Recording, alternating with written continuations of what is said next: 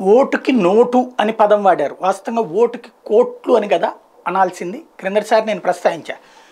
ఎం public ఇచ్చేటువంటిది ఓటుకి note.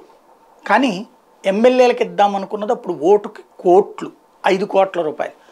ఇప్పుడు అది పది కోట్ల రూపాయలకి చేరినటువంటి పరిస్థితి ఆంధ్రప్రదేశ్లో. అయితే ఇవాళ పత్రికలు చూస్తే ఎవరి ధర్మాన్ని వాళ్ళు పాటించారు? ఏంటంటే పాత్రికేయ ధర్మం కాదు. దిగజారినటువంటి ధర్మం. ఏంటి ఆ దిగజారిన ధర్మం అంటే ఎవరి వాళ్ళని వాళ్ళు కాపాడుకురావడం. ఈనాడు ఆంధ్రజ్యోతినేమో రాపాక వరప్రసాద్ స్టేట్మెంట్ని కంప్లీట్గా డౌన్ ప్లే చేసి వాళ్ళిద్దరు ఎమ్మెల్యేలు Anam statement Sridevi statement highlight చేశారు.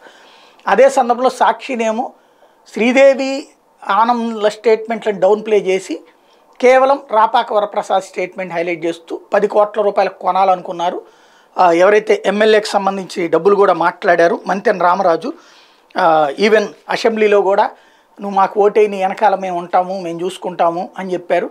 ఆర్థిక వ్యవహారాలు కూర్చుని మాట్లాడదామన్నారు అన్నట్టు. రాపాక వరప్రసాద్ దీని మీదనే నేను అందరూ క్వశ్చన్ చేస్తే నేను అసలు పబ్- మీడియా ముందుకు వచ్చి మాట్లాడలేదు. ఆయన నేను ఒక మీటింగ్లో మాట్లాడాను. నిజాయితీగా ఎట్లా ఉండాలన్నటువంటిది దానికి సంబంధించి చెప్పుకొచ్చానన్నారు. వెంటనే అమ్ముడు పోయినోడు అని మాట్లాడినప్పుడు అదే మొక్క చెప్పుకొచ్చాడు.